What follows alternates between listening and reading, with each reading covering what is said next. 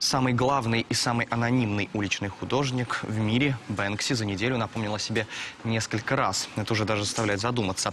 Сначала немало шуму наделало его граффити. Оно в какой-то момент неожиданно исчезло с одной из лондонских стен. Такое часто случается, кстати, несмотря на то, что лондонцы относятся к этим рисункам как к национальному достоянию. Одно из произведений художника даже включено в экспозицию Британского музея. Так вот, изредка какие-то недалекие рабочие стирают граффити по неосторожности или из-за незнания. Но на этот раз со стены в районе Вуд-Грин на севере Лондона исчезла знаменитая работа художника «Рабский труд», на котором изображен мальчик, вышивающий на швейной машинке британский флаг. Вот Бэнкси написал его в прошлом году. Рисунок не стерли, а просто вырезали и унесли вместе с фрагментом кладки. Власти, естественно, тут же переполошились. В районе даже прошла внушительная акция протеста с требованием немедленно вернуть шедевр современного искусства. Вскоре пропавший рисунок обнаружили в качестве лота на аукционе Fine Art в Майами. Там его выставили под названием «Роспись на штукатур... по штукатурке баллончиком с краской через трафарет».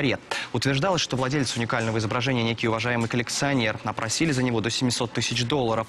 Лондонцы были шокированы, всячески просили снять украденную работу с аукциона. Так и произошло. Рабский труд, труд убрали с торгов, но пока в Лондон он так и не вернулся. Также пока не ясно, кто владелец картины. Теперь основная цель властей британской столицы – поместить рисунок Бэнкси обратно. Сам же анонимный художник никак не комментирует происходящее, ведь с ним самим недавно произошла детективная история. Несколько интернет-СМИ сообщили, что Бэнкси якобы арестовала полиция, его студию обыскали. Журналисты даже показывали какой-то официальный пресс-релиз на эту тему, якобы от главы лондонской полиции.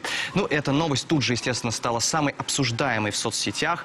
Об, об этом писали тысячи пользователей Твиттера. Но вот позже выяснилось, что все это утка. Оказалось, что просто чей-то розыгрыш. Но многие пользователи до сих пор продолжают в это верить и строить различные конспирологические версии. Хотя проверить, правда это или нет, вряд ли когда-то получится. Ведь Бэнкси – это большая загадка. Его в глаза никто не видел. Может, его вообще не существует, а потому и ареста наверняка никакого и не было. В общем, все это какой-то постмодернизм. Однозначно пока можно заявить одно.